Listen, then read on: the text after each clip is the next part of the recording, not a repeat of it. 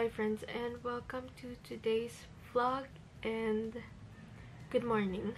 Well, patulog pa lang ako pero later naka-schedule na kami for our COVID vaccine. Like kami dalawa ni daddy, si mommy tapos na siya matagal na. And kami ni daddy hindi pa.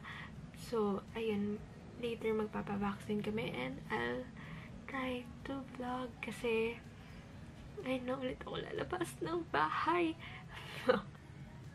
As in, tagal ko nating hindi nakakalabas ng bahay. Well, nakapunta ako sa kanto. Pero, nung nagpa-register ako for national ID, pero ngayon lalabas kami, malayo-layo. Well, hindi naman malayo-layo. Like, 15 minutes away, 10 minutes away from, no, 15. Siguro 15 or 20 minutes away from our house. And ayun papa-vaccine na kami finally. And I am super nervous. I'm actually scared kasi I'm scared of needles. Takot ako sa injection and ayun natatakot ako kinakabahan ako. Ba hindi ako sa vaccine kinakabahan sa injection ako kinakabahan. So, hindi ko rin alam. Hopefully, makapag-vlog ako, makapag-video ako. Kasi gusto din makita ni mami kung anong itsura ko pag in-injectionan. Kasi, takot ako. So, ayun nga, kinakabahan ako lalo. Kasi, hindi namin kasama si mami. Kami dalawa lang ni daddy. And, sanay kasi ako na pag ini-injectionan ako, kasama ko si mami. Hmm. Pero, ayun. Hindi ko kasama si mami. Si daddy yung kasama ko. Pero, ayun. Nakabahan ako. Pero, naka, at the same time, nakakaya din naman if matakot-takot ako doon kasi tanda-tanda ako, natakot pa ako sa karayom. Pero, ayun, natatakot ako. Natatakot ako sa injection. Pero, yeah, we'll see.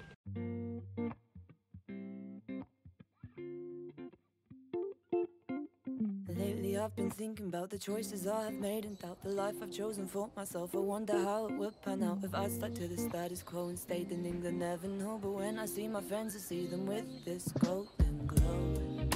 It seems they can touch the rainbow.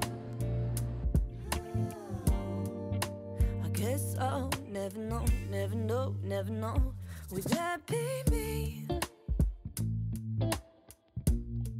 If I'd stayed in my city.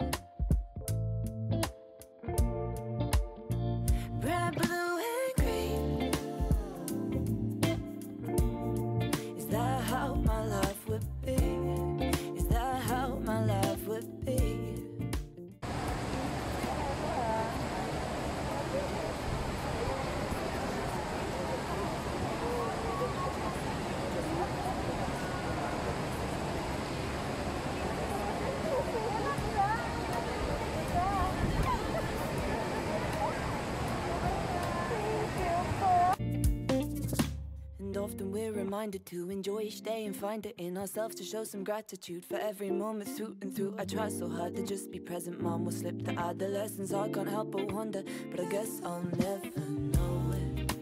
What the other book looks like.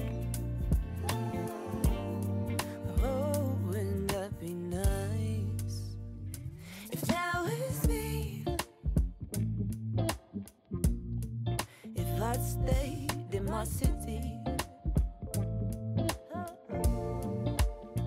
Pag nadulas ako sa hagdan,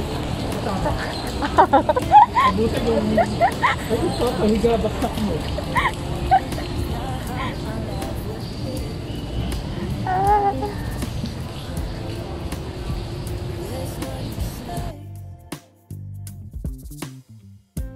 I'm not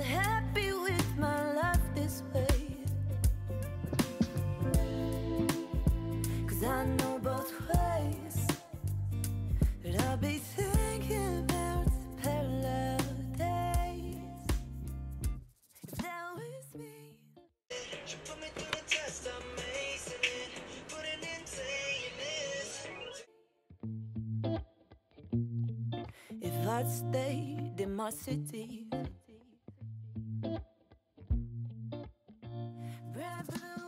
So hi guys, it's been a week na since I got my first shot or first dose ng vaccine and I'm not excited for the second one.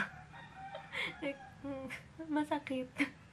well, mababa din kasi um, pain tolerance ko so and takot ako sa injection, sabi ko nga. So, eto, duwag. Pero yun nga, gusto ko lang magkwento. So, siguro mga 2 to 3 hours after the vaccine,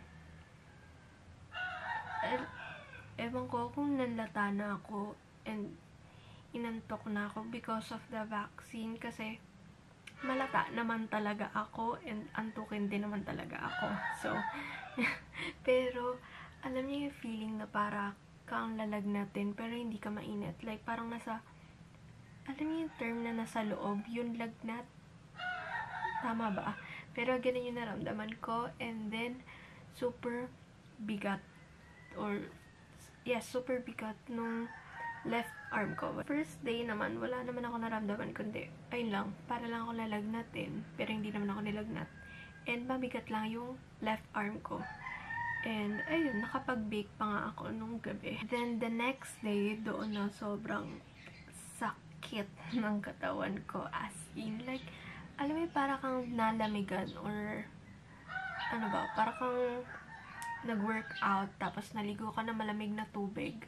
Then, pagkagising mo, kinabukasan, ganun. Ganun yung sakit ng, ng katawan ko, especially yung left arm and left na leg ko.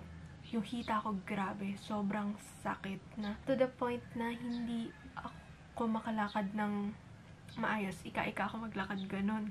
And pinagtatawanan na nga, nga nila ako dito sa bahay. Kasi si daddy hindi naman.